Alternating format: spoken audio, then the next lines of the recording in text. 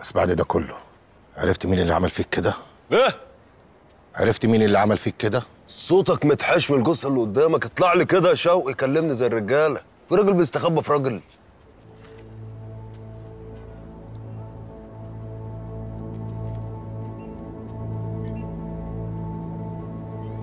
عملت اللي قلت لك عليه يا نعيم؟ حصل يا كبير. يلا فادي خد رجالتك واتكل على الله امشي. ماشي يا معلم جعفر يلا صدق. والله رجاله